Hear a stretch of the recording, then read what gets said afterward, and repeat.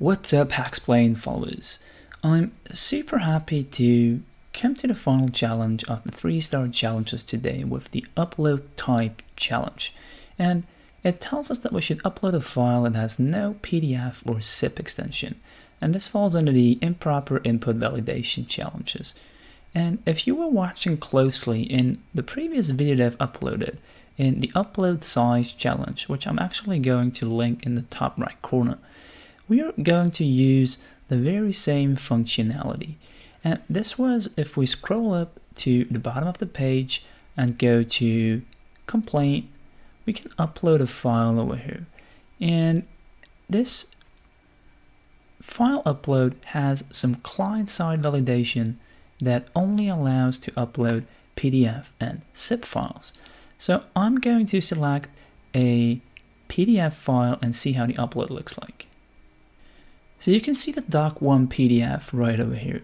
And I'm going to put down a message saying ASDF and I will submit this to the server.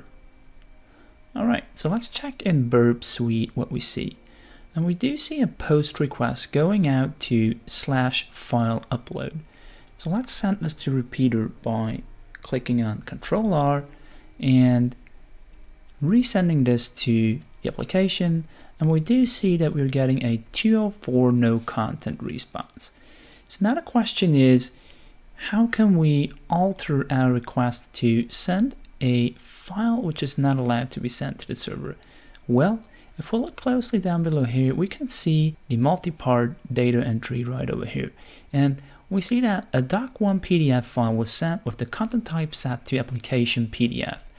So I'm going to start by deleting the PDF file in the data section by actually selecting all the data first.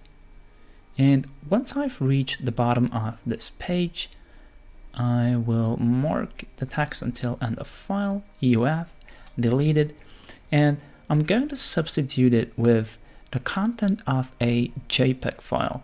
And for that, I've prepared or opened up a JPEG file in Notepad. So if you haven't seen a JPEG file before, open the Notepad rather than using an image viewer, this is how a JPEG file looks like. And I'm going to mark all that text right now, all the data, and put it right in here. Next up, I'm going to change the file name that we do see over here to doc1.jpg.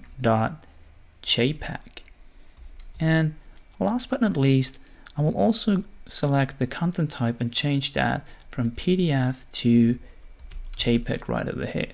So let's send this to the server and see if this circumvents the client-side controls. We do see that we got a 204 no content response. So let's check in OWASP shop.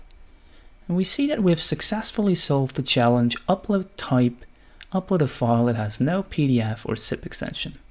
Perfect. All right.